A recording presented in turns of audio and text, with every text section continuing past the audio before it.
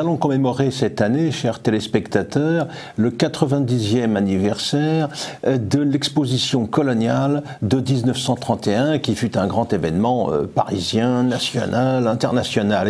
Paru important, opportun pardon, de revenir sur cette question dans le contexte bien précis d'aujourd'hui, euh, marqué par les délires euh, décoloniaux ou par les déclarations de certains euh, relatives à la colonisation présentée comme un crime contre l'humanité. Alors, il faut revenir tout d'abord une certaine journée du printemps 31, le mercredi 6 mai 1931, exactement dans la après-midi, où 100 000 Parisiens, on en attendait 20 000, ils ont été euh, cinq fois plus nombreux, se pressent sur l'avenue euh, Dauménil pour voir la voiture officielle euh, dans laquelle se trouve le président de la République, Gaston Doumergue, et le maréchal Lyotet, le pacificateur du Maroc, se diriger vers l'entrée de l'exposition coloniale pour la séance d'inauguration, pour la séance euh, d'ouverture. Euh, cet euh, événement, il a donc rencontré la faveur du public, un public même que l'on peut considérer comme enthousiaste. C'est sous un tonnerre d'applaudissements que, arrivé à l'angle de l'avenue Doménil et du boulevard Poniatowski, le président de la République et le maréchal Lyotet mettent pied à terre pour entrer dans l'exposition après avoir passé en revue une compagnie d'honneur euh, formée de militaires issus des différents régiments euh, coloniaux. Puis ensuite, il se dirige vers le hall du musée des colonies, euh, construit pour la circonstance, où se trouve le jeune empereur d'Annam, un maharaja indien, le général Végan, le, corps diplomatique au grand complet. là, le président Doumergue puis le maréchal Lyotet vont prononcer un discours en effet le commissaire de l'exposition un discours qui va être relayé dans le monde entier puisque la veille on a installé à Pontoise un très puissant émetteur euh, qui va permettre d'écouter euh, par radio les discours en question aussi bien euh, à Dakar qu'à Fort-de-France aux Antilles ou qu'à Hanoï dans l'Indochine alors française. Il y a là aussi les représentants de la municipalité parisienne, l'ambassadeur d'Italie puisqu'il y a un pavillon italien qui sera très très remarqué à euh, l'exposition. Il y a là le ministre des colonies, euh, Paul Reynaud, que nous retrouverons une dizaine d'années plus tard dans les circonstances malheureuses que l'on sait. En tout cas, à l'époque, le moment est à la fête et le président Doumergue peut exalter avec cette expo coloniale une entreprise de paix et euh, d'unité entre les peuples. Et le lendemain, le petit Parisien pourra parler d'apothéose de la France coloniale, d'un peuple unanime euh, dans euh, l'admiration euh, de tous ceux qui ont été les artisans de la construction de cet empire. Alors cette exposition coloniale, c'est une vieille histoire, puisque dès 1919, c'est un projet qui a été porté par Clémenceau, ce qui peut paraître paradoxal, puisque une trentaine d'années auparavant, Clémenceau faisait partie des gens qui condamnaient Jules Ferry et qui contestaient l'expansion coloniale. Enfin, toujours est-il que quand on a négocié la paix, euh, on a décidé euh, de transformer en territoire sous mandat euh, les colonies des vaincus, notamment les colonies allemandes. Dans le traité de Versailles avait formulé l'idée que l'Allemagne était indigne et incapable de la mission sacrée de civilisation. Et donc, dans ce contexte-là, eh bien, pour exalter la coopération internationale dans la perspective de la gestion de ces territoires sous mandat, Clémenceau avait lancé l'idée donc d'une expo coloniale interalliée. il avait fallu années pour préparer tout ça, pour mettre en œuvre tout cela, hein, l'instabilité euh, gouvernementale, euh, l'immensité euh, du projet. il fallut attendre notamment en 1925, quand Lyoté est, retour, est revenu du Maroc, pour prendre la responsabilité de commissaire général de l'exposition, pour que les choses avancent. Il est aidé pour cela par un conseil supérieur qui est présidé par Adolphe Messimi, qui était ministre de la guerre au moment de la déclaration de guerre en, en 1914 et qui ensuite s'illustrera pendant le conflit à la tête d'un bataillon de chasseurs. Il y a là aussi Marius Blanchot qui est chargé du comité technique avec l'architecte Tourner. tout cela, ça représente des travaux évidemment euh, tout à fait euh, considérable, euh, des investissements énormes pour que la fête soit réussie. On a retenu comme lieu de cette manifestation le bois de Vincennes dont on a retenu 114 hectares. Eh bien, il faudra 16 mois pour aménager simplement l'espace retenu, pour assurer les adductions d'eau, la fourniture d'électricité électricité euh, pour ensuite monter des pavillons qui seront des pavillons légers ayant vocation à être démontés, comme c'était le cas dans la plupart des grandes expositions universelles euh, qui avaient euh, précédé, même si celle-ci avait quand même laissé quelques traces, dont les plus notables étaient la Tour Eiffel, bien sûr, ou alors pour l'exposition universelle de 1900, le Grand et le Petit Palais. on va avoir des traces qui dureront là aussi, hein, notamment le musée permanent des colonie, qui deviendra euh, ensuite, euh, à une époque où le mot colonie euh, ne passait plus ou passait difficilement, eh bien, qui deviendra le musée des arts d'Afrique et d'Océanie, avant de devenir, il y a quelques années, le musée de l'immigration.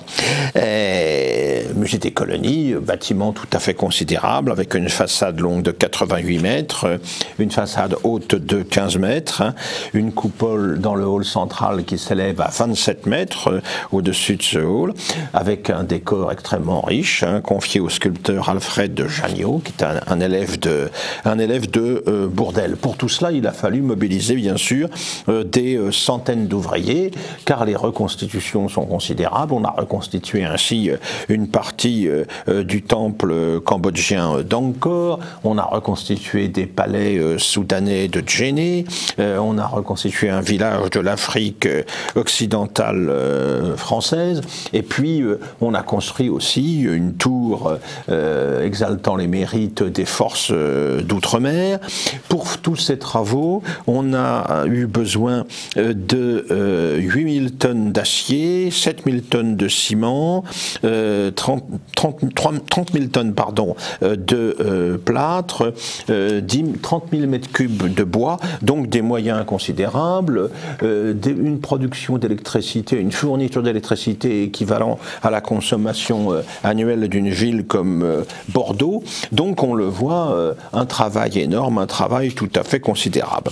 Et cette exposition, elle va durer donc du 6 mai, jour de son inauguration, jusqu'au 15 novembre 1931, soit 6 mois et demi, avec un succès tout à fait considérable, en moyenne 172 600 entrées par jour, succès populaire donc avec avec 33 euh, millions d'entrées, sachant que les Parisiens, nombreux sont ceux qui vont y aller plusieurs fois. En tout, des visiteurs, il y en aura eu 8 millions, euh, dont certains sont allés donc plusieurs fois euh, visiter l'exposition. Alors, ils arrivaient au métro Porte Dorée voyez en sortant du métro la section métropolitaine de l'exposition, la cité de l'information dans laquelle on pouvait les, piloter euh, dans leur euh, déambulation euh, à, travers, à travers les pavillons. Il tombait ensuite sur le stand de la Croisière Noire, la Croisière Noire Citroën qui avait traversé l'Afrique quelques années plus tôt, hein, épopée suivie par la grande presse, par l'opinion, après le succès emporté par la croisière jaune euh, en amont. Euh, il euh, avait également en face d'eux le fameux musée des colonies dont je parlais il y a un instant. À proximité, le zoo de Vincennes, qui est encore aujourd'hui l'un des, des, vestiges de l'exposition de 1931. Et puis, au sud-ouest du lac Doménil, se trouvait la section indo-chinoise de l'exposition, la plus spectaculaire sans aucun doute, avec la reconstitution de la partie centrale du temple d'Angkor Wat et avec euh, la reconstitution également euh, d'un village laotien. Les cinq comptoirs de l'Inde, évidemment, ne manquent pas à l'appel. Il y a un pavillon pour présenter aussi la côte des Somalies. Et puis, on arrive ensuite dans la partie africaine de l'exposition, avec la reconstitution de monuments de Djenné au Soudan, dans l'actuel, dans l'actuel Mali, euh, avec également des pavillons évoquant bien sûr l'Afrique du Nord, avec des spectacles, des danseurs, des danseuses, avec une place particulière réservée au Togo et au Cameroun, ex-colonie allemande devenue territoire sous mandat français. L'Afrique est représentée aussi à travers le pavillon italien. L'Italie contrôle à l'époque, on le sait, la Tripolitaine, la Cyrénaïque, l'actuelle Libye, et euh, les Italiens ont reconstitué euh, une partie des ruines de la magnifique cité romaine de Leptis Magna euh, en Tripolitaine. Il ne faut pas oublier les pavillons des Antilles, où le rhum, le rhum coule à flot, les pavillons de l'Océanie également, Tahiti et ses L'Amérique, les États-Unis sont représentés avec une reconstitution de la résidence de Washington à Mount Vernon, hein, résidence de style colonial, euh, datant de la fin du XVIIIe siècle. Hein.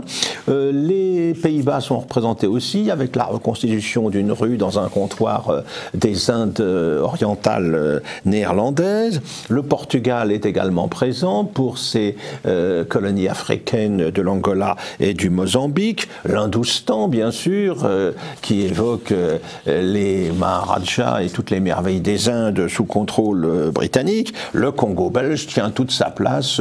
Euh, son pavillon se dresse à côté de celui de l'Algérie, euh, alors euh, française. Alors un peu partout des stands, des restaurants, des attractions diverses, avec une dimension commerciale qu'il ne faut pas négliger. Le stand Banania, avec le fameux tirailleur sénégalais expliquant que Yabon Banania remporte un succès considérable.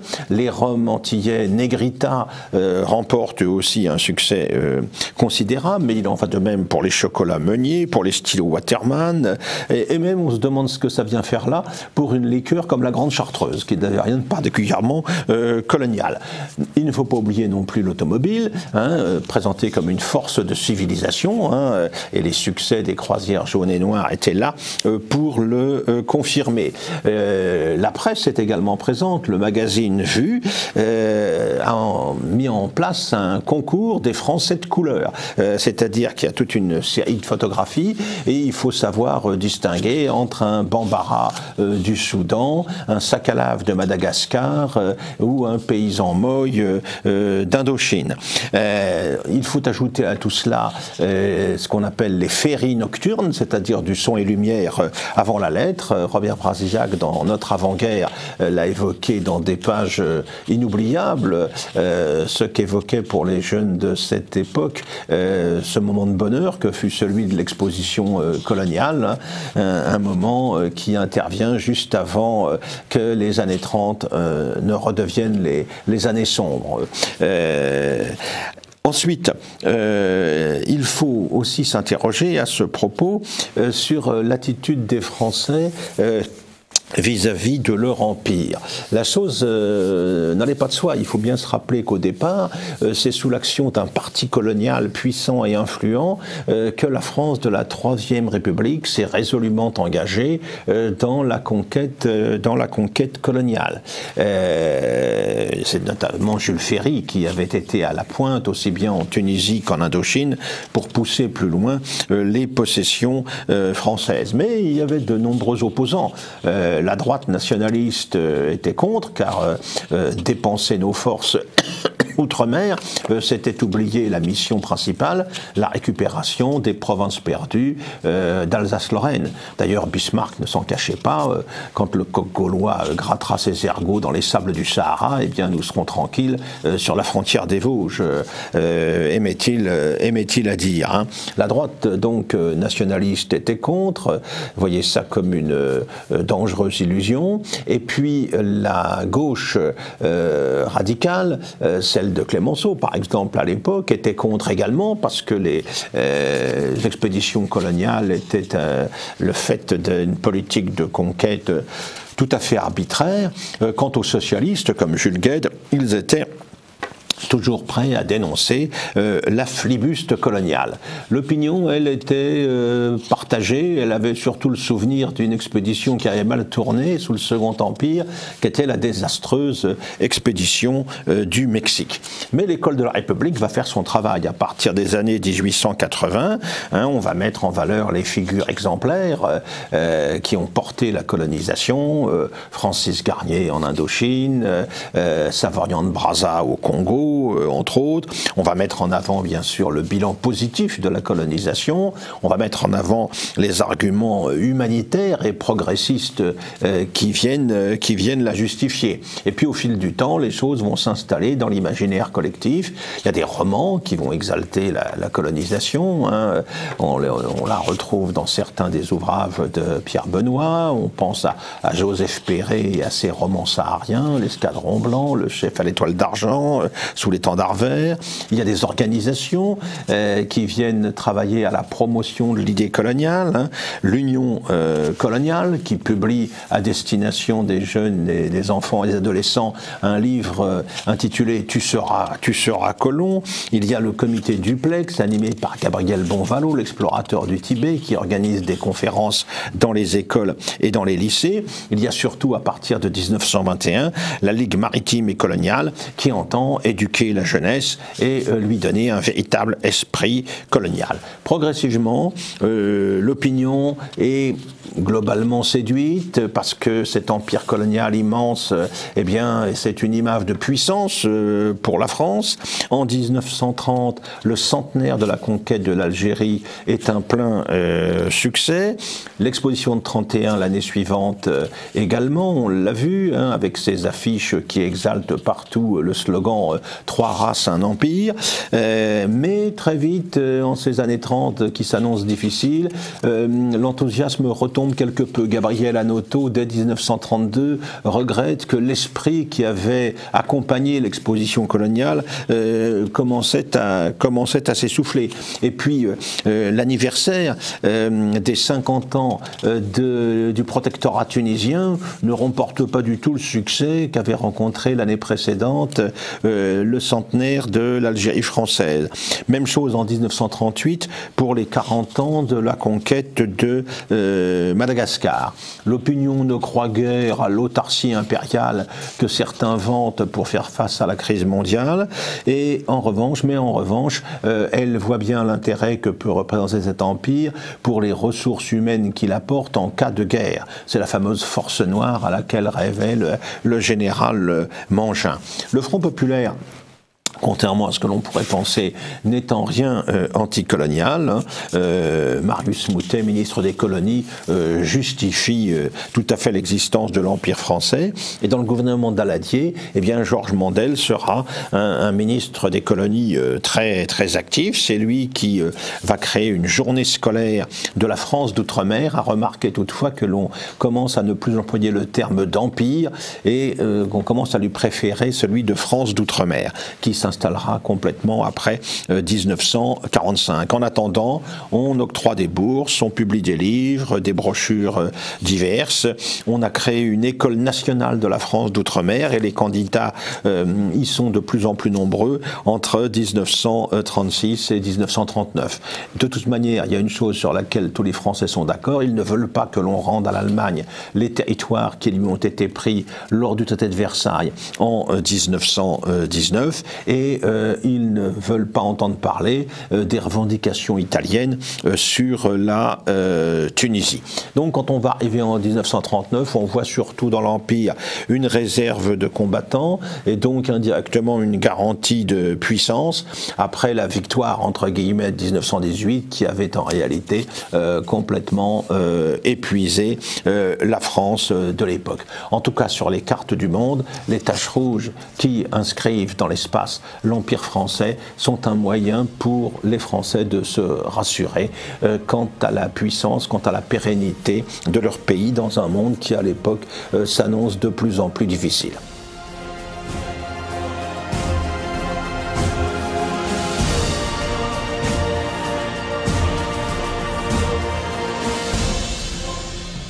Ce doivent être les circonstances actuelles qui m'ont donné envie de me pencher sur l'histoire des femmes médecins. Qui était la première française médecin? Vous allez constater que cela n'a pas été très facile pour les femmes d'accéder aux études de médecine, puis ensuite d'exercer en tant que médecin. Je vais vous raconter pour cela l'histoire de Madeleine Bress. Madeleine Bress est née Madeleine Alexandrine Gébelin à Bouillargues dans le Gard, une petite ville au sud-est de Nîmes, le 25 novembre 1842. Sa famille est fort éloignée du monde médical. Son père, Ulysse Gébelin, est en effet charron, mais par son métier, il est souvent sollicité par l'hôpital de Nîmes pour y faire des travaux. Et Ulysse Gébelin emmène sa fille, emmène la petite Madeleine. Pendant que son père travaille, euh, sa fille, curieuse et voulant se rendre utile, accompagne les bonnes sœurs lors des soins aux malades. L'une d'entre elles prend Madeleine en affection et elle va lui apprendre les premiers soins. L'enfant souhaite tellement se rendre utile qu'elle en est touchante. Il faut l'encourager. Les bonnes sœurs ne savent pas qu'elles viennent de susciter la vocation d'une vie. Madeleine donne à manger, à boire aux, malades, des tisanes, du potage. Elle aide au pansement. Elle semble ravie quand on lui demande de fabriquer des cataplasmes. Madeleine aime soulager les malades et prendre soin des autres. Quand elle a 12 ans, la famille décide de partir s'installer à Paris. Et à 15 ans, comme c'était souvent l'usage à l'époque, euh, on, marie Madeleine à un conducteur d'omnibus, Adrien Bress. Elle aura trois enfants avec lui et dans les premières années du mariage, elle est occupée ben, aux soins du ménage, à l'éducation de, ses enfants et elle semble avoir une vie euh, plutôt heureuse avec son mari car vous allez voir qu'il ne va pas du tout l'empêcher de réaliser ses projets. Car fin 19e, la condition de la femme n'est pas vraiment formidable. Napoléon et son code civil sont passés par là. La femme mariée est une mineure qui ne peut agir sans l'autorisation de son mari. Or, même mariée et mère de famille, Madeleine n'a pas abandonné son rêve de soigner les autres. En 1866, il le racontera plus tard, le professeur Charles Adolphe Wurtz, doyen de la faculté de médecine, voit débarquer dans son laboratoire une toute jeune femme, Madeleine, qui est âgée à ce moment-là de 24 ans. Madeleine lui demande de suivre ses cours. Elle veut s'inscrire pour obtenir son diplôme de docteur en médecine. Et elle veut, lui dit-elle, se consacrer à soigner les femmes et les enfants. Passé la surprise, le bon docteur Wurz l'accueille de manière plutôt bienveillante. Il est de ces médecins euh, qui ont l'esprit ouvert. Mais il lui conseille d'abord de passer son baccalauréat. Le baccalauréat, lui, n'est ouvert aux jeunes filles que depuis 1861, enfin aux femmes depuis 1861. Euh, le docteur promet aussi à Madeleine de plaider sa cause auprès de l'instruction publique et il va tenir parole. Il va envoyer l'un de ses collègues se renseigner à Zurich où, l'inscription des femmes a été autorisée deux ans auparavant euh, auprès de la faculté de médecine. Il remet ainsi un rapport complet au ministre de l'instruction de l'époque, Victor Duruy, qui œuvre lui aussi au développement de l'instruction euh, pour les, jeunes filles. Car Madeleine a de la chance euh, dans, au 19e, car elle tombe dans un contexte plutôt favorable à l'instruction des femmes. En effet, nous sommes sous le Second Empire et l'impératrice Eugénie veut faire bouger les lignes et elle veut, elle aussi, améliorer l'accès à l'instruction des femmes. Elle soutient en cela l'action du ministre de l'Instruction, Victor Duruy. Euh, celui-ci a ouvert des cours secondaires aux jeunes filles dans les facultés et ces cours ont un succès fou. Plusieurs centaines de euh, jeunes filles et de femmes y assistent. Madeleine va alors demander l'autorisation à son mari de pouvoir passer le baccalauréat euh, S-Sciences, mais en candidat libre. Celui-ci l'autorise et elle va pouvoir aussi s'inscrire à la faculté de médecine de Paris. Et cette autorisation est donnée officiellement le 24 octobre 1868 devant le maire du 5e arrondissement. C'est très officiel. Madeleine va pouvoir commencer ses études et le doyen accepte d'autant plus son inscription qu'encore une fois, elle est appuyée par euh, l'impératrice et le ministre. Entre-temps, euh, entre le moment de sa première rencontre avec Wurz et son inscription, trois années sont passées et d'autres femmes euh, se sont entre-temps inscrites à la faculté de médecine. Il s'agit de trois étrangères, Marie Putman, une américaine, Catherine Goncharov, une russe, et Elisabeth Garrett, une anglaise, qui deviendra euh, d'ailleurs par la suite la première femme médecin en Angleterre. Madeleine est la première française à s'inscrire et vous allez voir à obtenir son diplôme cinq ans après l'anglaise. Les années d'études de Madeleine ne vont pas se dérouler dans un climat très serein en effet, la guerre de 70 éclate. Madeleine va vivre le siège de Paris et les terribles événements de la commune. Elle tient alors courageusement son rôle de soignante, se dévouant sans compter pour soulager la misère, d'autant plus que tous les médecins sont partis euh, se battre sur le front. Et pourtant, à cette époque, elle est déjà veuve et élève ses trois enfants. Le docteur Broca, avec lequel elle travaille à l'hôpital de la Pitié et remplit ainsi les fonctions d'interne provisoire, encore une fois parce que les, médecins hommes sont partis, écrit à son sujet Madame Bress est entrée dans mon service en qualité d'élève stagiaire en 1869. Au mois de septembre 1870, l'absence de plusieurs internes appelés dans les hôpitaux militaires nécessitait la nomination d'internes provisoires. Madame Bress, sur ma proposition, fut désignée comme interne provisoire. En cette qualité, pendant les deux sièges de Paris et jusqu'au mois de juillet 1871, elle a fait son exercice avec une exactitude qui n'a pas interrompu le bombardement de l'hôpital. Son service a toujours été très bien fait et sa tenue irréprochable. Madame Ress est toujours fait remarquer par son zèle, son dévouement et son excellente tenue. Elle nous a particulièrement secondés pendant la dernière insurrection. Car pendant ce temps, à l'issue de la guerre, les femmes ne sont toujours pas autorisées à passer le concours d'interne aux hôpitaux. Madeleine en fait la demande fin 1871 et malgré l'opinion favorable, encore une fois, de ses professeurs et des médecins avec lesquels elle a travaillé à l'hôpital pendant la guerre, la direction des hôpitaux de l'assistance publique lui refuse l'accès au concours de l'externat et, encore euh, plus, enfin davantage, au concours de l'internat. En résumé, la formation médicale en milieu hospitalier. Il faudra attendre 1882 pour que le concours de l'externat soit ouvert aux femmes et 1885 pour l'ouverture de l'internat. Pourtant, les médecins, encore une fois, qui ont travaillé avec elle, déclarent dans un rapport commun Par son ardeur au travail, par son zèle dans le service hospitalier, nous nous plaisons à reconnaître que Mme Bress a, par sa tenue parfaite, justifié l'ouverture de nos cours aux élèves du sexe féminin et obtenu le respect de tous les étudiants avec lesquels elle s'est trouvée forcément en rapport.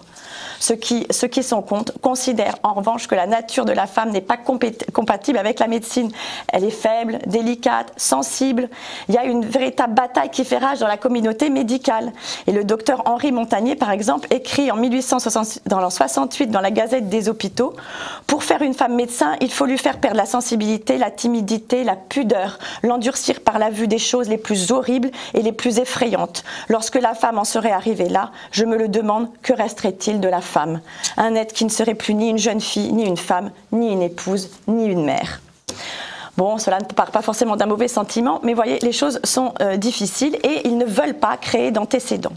Madeleine ne va pas se battre, mais elle va continuer d'étudier. Elle passe 4 ans au Muséum d'histoire naturelle, puis 3 ans dans le laboratoire de Charles Adolphe où elle prépare une thèse de chimie sur la composition du, du lait maternel. Elle y démontre que le lait change au fur et à mesure de l'allaitement pour répondre aux besoins de l'enfant. Elle présente cette thèse en 1875 et obtient la mention extrêmement bien. Madeleine Bress est alors la deuxième femme à devenir ainsi docteur en médecine après l'anglaise Elisabeth Garrett cinq ans plus tôt, qui elle avait soutenu une thèse sur la migraine. Mais Madeleine est la première française.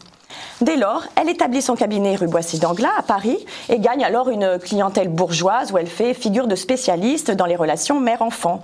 Dès lors, elle se spécialise dans le domaine de la pédiatrie et dans l'hygiène. Elle donne des conférences, des cours aux directrices des écoles maternelles, crèches et garderies parisiennes, ceci à la demande de la ville.